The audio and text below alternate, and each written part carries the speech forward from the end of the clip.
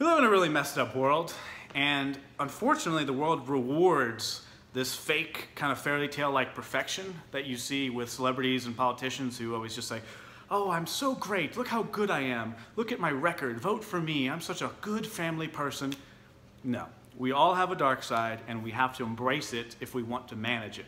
If we ignore our dark side and we say, Oh, I'm great, everything's fine, like society pressures us to, we will never be happy because you'll never live up to that expectation.